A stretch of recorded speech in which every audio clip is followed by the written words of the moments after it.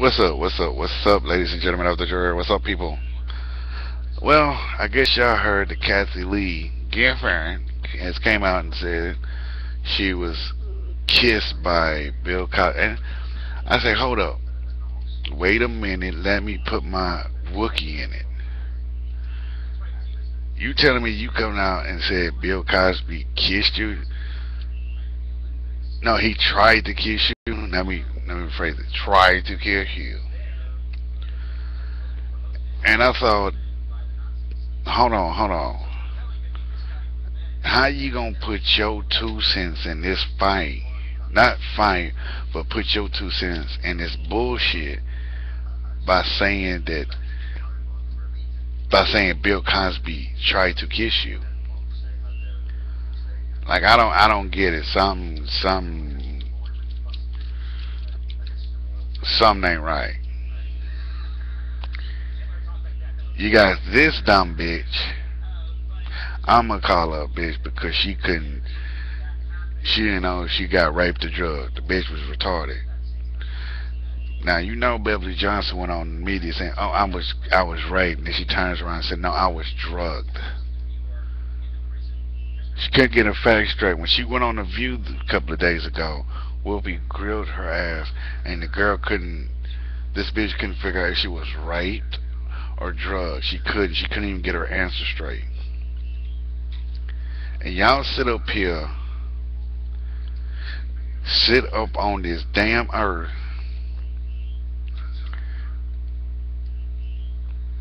and trying to still and, and look at this man as a rapist and I'm sitting up there it's like are you kidding me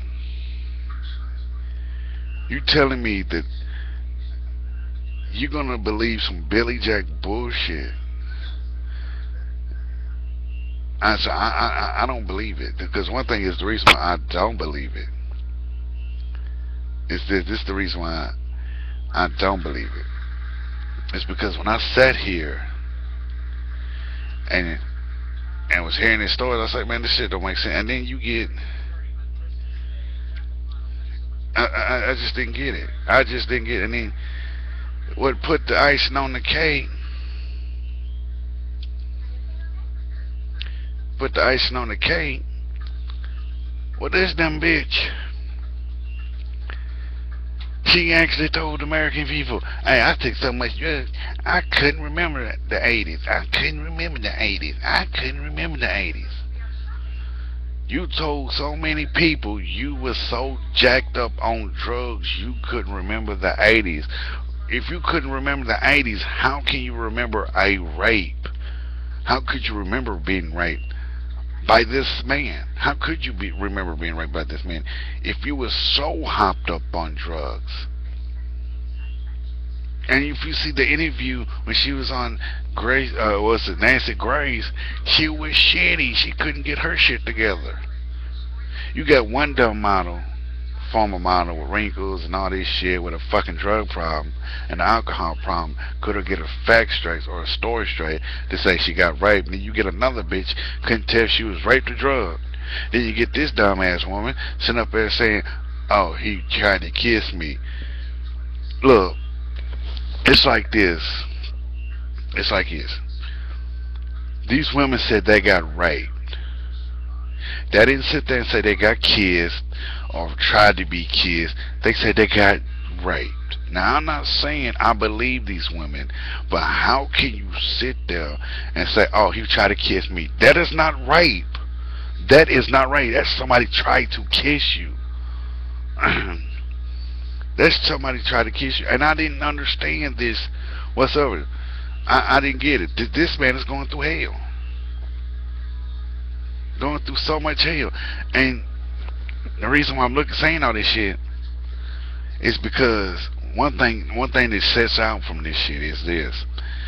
Everybody is looking at Bill Cosby as the suspect. And y'all should be looking at this shit looking at this picture bigger than that. Because man, if you take one side of stories, man, that's it. That's a bunch of hearsay, and I've been saying that it's a bunch of hearsay. And I know that for a fact, man. You can't sit there and run to the media and say, hey, I was raped by this guy. And there's no nothing to back up that claim. There's nothing to back up that claim. So when you tell somebody, I was raped by this person, where is the evidence to show that claim?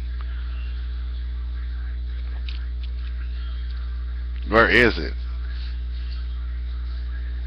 And didn't John Travolta go through the same thing too? All these men coming out, oh, he tried to rape me. He tried to rape me. See? Big name. And people trying to get his money. They do the same thing to John Travolta as they're doing to to do the same thing to Michael Jackson, Tiger Woods, John Travolta, and Bill Cosby. And y'all sitting up there oh, we he, he guilty, he guilty. How can he be guilty if nobody ever checked these women's backgrounds, their stories? I would have. I actually said in a couple of the videos when this story breaks out that there was a girl that worked on the show I Spy with Bill Cosby. She said she got raped she didn't tell nobody, but she quit acting, got into law, became a lawyer, got in some shit, and got in trouble and lost her license to practice law. And nobody looked at that as something ain't right. How come I know that several of the women was prostitutes or they had a drug addiction? and y'all still sit up here. He Bill Cosby guilty. Bill Cosby guilty. Oh, oh, he guilty. He guilty. All these women. Now think about it. You get 21 women. 21 women coming out and say, "Oh, he raped me," and there is no, no police report to back this up. There is nothing to say. There's nobody coming out saying, "Oh yeah, I saw it happen." Well, one thing, why would anybody say, "Oh, I saw him trying to rape this girl"? No, there's nothing to back up these women's claim. They really didn't check out these women, see what, like, because one thing is, what do they do every time they check a suspect? They check their past history. They check what they did over the several years before this incident happened. They never did that they looked at Bill Cosby like such of a damn suspect because of because of what these women said. Because what these women said, they looked at him so bad because these women said they got raped. Didn't question. Didn't quit. They looked at him as, as as as a suspect. Didn't question these other women to see what happened in the past. Did they have a police record? Did have they did drugs? Did they do rehab?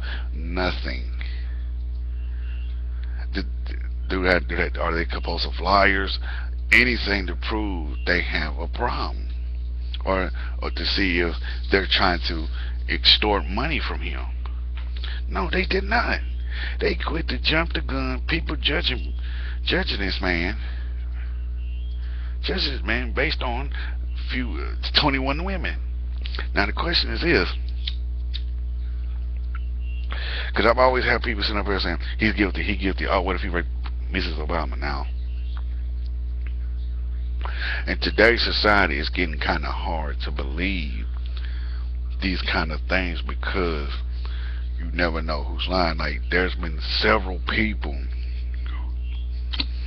that lied. There was a woman who lied about a loved one being killed in 9-11, found out she was scamming people, or how several of the parents lied in court, said their child was molested by Michael Jackson.